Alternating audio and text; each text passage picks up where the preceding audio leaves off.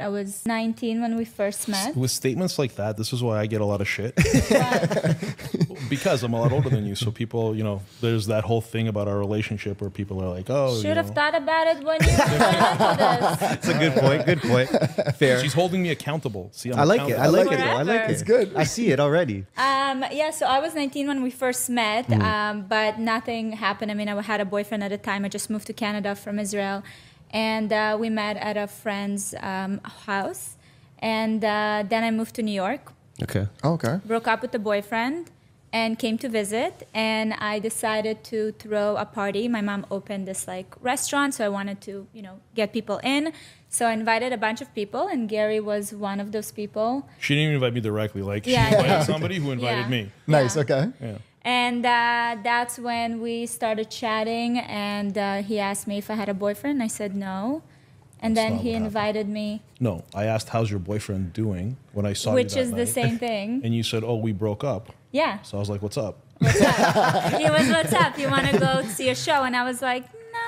I mean, no, I didn't say no, but I was like, Yeah, we should all go as a group to see the show. Okay. It will So you so got friend nice. zoned. You got Okay. friend zoned right was- away. yeah, immediate friend zone. That was her like I'm a really nice person, so I'm like, I'm not saying no. I'm just like, that was Yeah, her yeah. polite way. So you were just friends first. uh, yeah. I mean, I didn't really look at you at first as somebody down. So what happened like was. Okay, let's hear. Okay, here we Okay, here we go. Oh, okay. He has I his own saw- version. so that night, I asked, "How's your boyfriend doing?" Because I remember from a year ago she had a boyfriend. Yeah. And she goes, "Oh, we're not together anymore." And what happened then was I didn't say anything to you that night, but I told our friend Mary, our mutual friend, who who uh, we met through Mary, and who actually she lives in Miami now too. We said to Mary, I sorry, I said to Mary, um, "Hey, well, like, what's up with Valeria?" And she goes, "Oh, um, like she's single now." I heard. She goes, "Yeah, but Gary, she's 20 years old." Yeah. And I was 38, and I was like, "Oh, all right. Well, ask her, ask her what she thinks." You know, I was a coward, right? I go, Yeah, ask, her, yeah. ask her what she thinks of me, and then Mary just never got back to me. Okay. So that was like, She That was like the- Mary's Like, polite. Like, did she way. ask you? Did she ask She you? Yeah. asked me. Okay. Yeah, and she said, "I'm not interested." Okay. Um, right? You said I'm not interested. Yeah, Yeah. you were too old for me. Yeah, I understand. You're a big talker. We have three kids now, so okay. but um, Things changed. so then I saw her again a couple of weeks later, and I uh, I saw her. I was chatting with her, and she's like, "Yeah, I have no way to get home." I'm like, "Hey, let me give you a ride home." And she goes, and I said, "Yeah, yeah, no problem." I'll uh, I said, "I'll give you a ride home." She goes, "Wait a second, don't you live downtown?" I said, "Yeah." She goes, "Yo, but I, I'm in, I'm staying in Richmond Hill with my mom." Opposite and we were like in the middle of the city. Yeah. it's the opposite way. And she goes, "No, it's okay. Don't worry. It's out of your way." I go, "No, actually, I, I- that's the way I take. I take the highway. You know, I go up the island, Nice. I take the 407 Nice. across. Yeah, that 407. That's that's where I go. So I'm Yeah. already. It's on. It's my. It's on my way. Yeah. So I took her, and then it was just gonna be me and her, and then her friends who had a couple of drinks, more than a couple. They heard that we were. I was driving her, and they're like, "Hey, we're going up there too." Can became the take us?" Uber. So then I became an Uber. So first I was friend zoned. Then I was go. the Uber driver. You're, you're getting there though. Um, you're you know, it's like, I don't know up. if I'm moving up or down. And what was happening in your mind at that time? Like, what were you trying to do? I was just trying to like talk to her, get her Yeah. number, hang out with her, you know, spend Cool. some time with her. Cool. So and um, and, and from, from a career perspective, though, where are you at that point?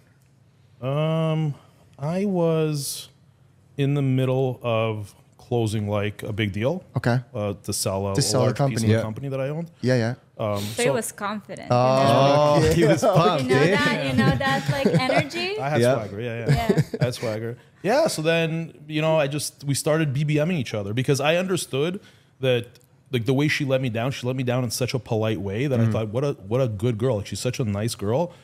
And to be honest, I thought to myself, you know what? She's a pretty girl. She probably has maybe you know some older friends. So I'm like, okay, I'm going to be networking because at that age you have to be intentional about finding a wife. So I'm like, Yeah. you know what? Cool. Like she's a nice girl. She let me down easy. Um, she wasn't rude about it because a lot of young pretty girls will have an attitude. Yeah. Mhm. But she was she was she was good. So I said, okay, cool. And we just started BBMing. Remember BBM? You Yeah, yeah. Of course, Yeah, of get course. ping, Of course. We were talking about it the other day. It was Yeah. the best. So I dropped all the bullshit. I dropped all the game, this and that. And we were just friends. Yeah, Yeah. so I was in New York and we were messaging a lot. Yeah, yeah. And I but like, like just friends, how- just yeah. like that's it. Yeah, yeah. How, how long was the know each friend stage? and and what sparked the next stage? Um, champagne. a few months. yes, alcohol. Tequila, yeah. Um, a few months we were friends, and then when I came back to Canada, we went out with a couple of friends, and then we ended up in like a lounge, right? So she Then we had was champagne. she was in town from New York, okay, and I she was staying at her mom's in Richmond Hill, up in the suburbs of Toronto, and she knew I lived in the city. And she's like, "Hey, you want to hang out?" She had, and it was a holiday weekend; nobody else was in town, so she needed Yeah, someone to take her and her friend out. license Yeah. Her friend was so- her friend was in from Israel, her Okay. childhood friend. So I grabbed a buddy, and the four of us went out again, just friends, whatever. And that night, we ended up uh, just the two of us. We went to a lounge. I ordered a bottle of champagne. We each had some champagne, and then we kissed. And then at that moment, then it should be my wife. That's it, done.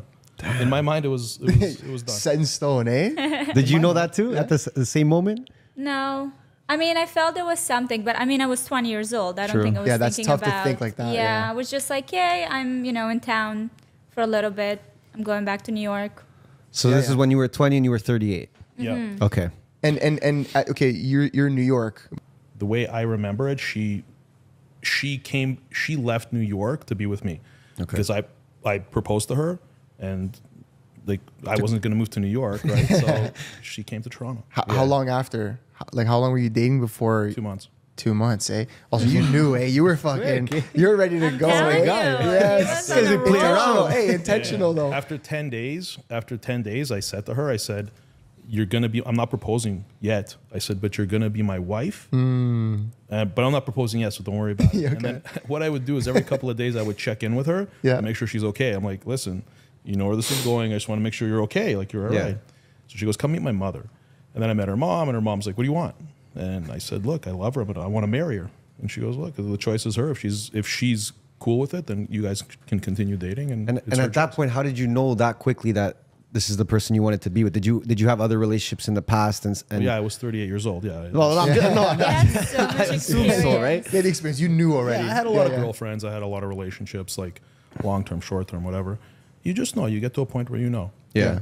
You know, like you know, I do. I we just did we just did a podcast on Valeria's podcast, and we were mm. talking about soulmates and stuff. So I don't know that I necessarily believe in that, but when you have already as much experience as I had, especially as a man, you just know what you want. So Yeah. I identified immediately that she was just for me. She was like the perfect person. So